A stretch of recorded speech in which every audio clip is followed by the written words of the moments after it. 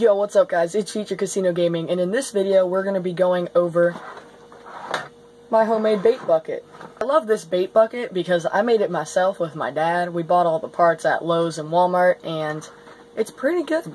So, what we did was we built it, we put a hole right there using like a screwdriver, and we made it so we could hook on this little air bubbles thing.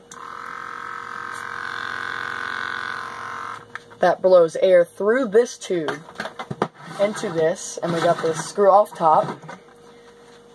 By the way, this can this this five gallon bucket is BPA free, and once you screw that off inside,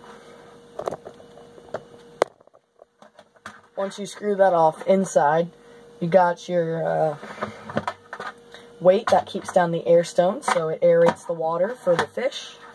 Um, if you're keeping minnows in there, we got this to get the minnows out. And we got some spare batteries for the uh, aerator. And you can carry it easy. You can fit a good bit of water up in it. And this air bubbles, I think aerates up to six or seven gallons, which is fine because this is a five gallon bucket and we're not even going to keep five gallons of water in it at once.